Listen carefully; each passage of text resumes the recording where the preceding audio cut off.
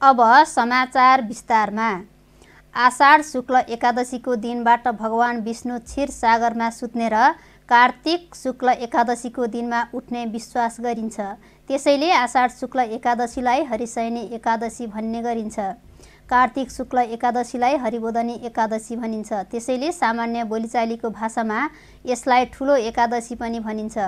चार महिना अघि अर्थात् आषाढ शुक्ल एकादशीको दिनमा रोपिएको तुलसीलाई आजको दिन मठ सिँगारेर विशेष पूजा गरी विष्णु भगवानका अर्का रूप पिपलसँग विवाह गरिदिने परम्परा रहिआएको छ।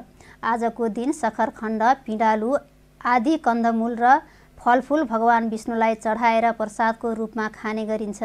हरिबोधनी एकादशीलाई भगवान विष्णुको उपासना गर्ने पर्वको रूपमा लिइन्छ। हिन्दू धर्म ग्रन्थमा तुलसी पिपल दुबो र शालिग्रामलाई भगवान विष्णुको प्रतीकको रूपमा मानेर पुजिन्छ र आषाढ शुक्ल एकादशीदेखि सुरु भएको चतुर्मास आज सोमबारदेखि सम्पन्न भएको छ। भगवान विष्णु क्षीर सागरमा सुतेको बेला अर्थात् चतुर्मासभर विवाह व्रतबन्ध जस्ता कुनै पनि माङ्गलिक कार्य गरिँदैन। कार्तिक शुक्ल एकादशी अर्थात् हरिबोधनी एकादशीपछि मात्र मङ्गल लगन तथा मुहुर्त हेरी यस्ता शुभ कार्य गर्ने गरिन्छ। स्याङ्जा र पाल्पाको सिमानामा पर्ने पवित्र कालीगण्डकी तटहरूमा स्नान र पूजा गर्नेहरूको बिहानैदेखि भिड लाग्ने गर्दछ।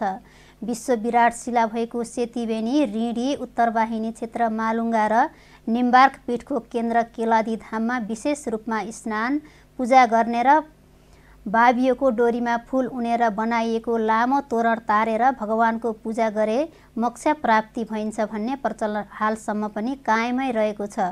सो मेला भर्न विभिन्न स्थानबाट व्यापारीहरू आफ्नो सामानहरू बेच्न आउने पनि प्रशस्तै भेटिन्छन्।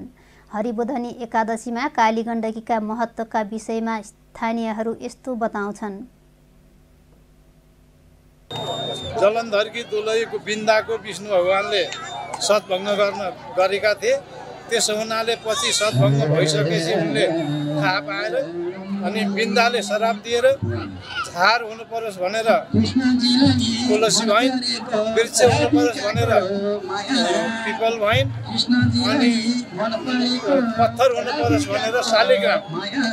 त शालिग्रामलाई यो काली गङ्गाजीले पेटमा राखेको हुनाले भगवान् कृष्णको आमा भएको हुनाले हामी सबैको आमा हो काली गङ्गा आज यसै दिन विभिन्न नदीनालाहरूमा स्नान ध्यान गरेर तोरणहरू तार्ने परम्परा रहिआएको छ।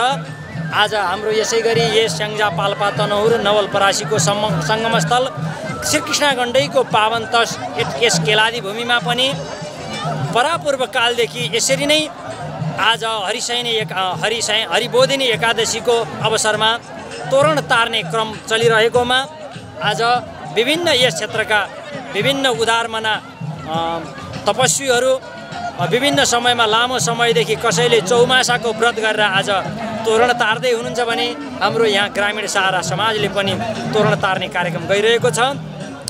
अब यो भगवान् विष्णु साक्षात् चाहिँ जगतका पालनकर्ता भगवान् विष्णुकै चौमास व्रतको समाप्तिको रूपमा यसलाई लिइएको हुनाले यो हरिबोधिनी एकादशी अत्यन्त महत्त्व छ।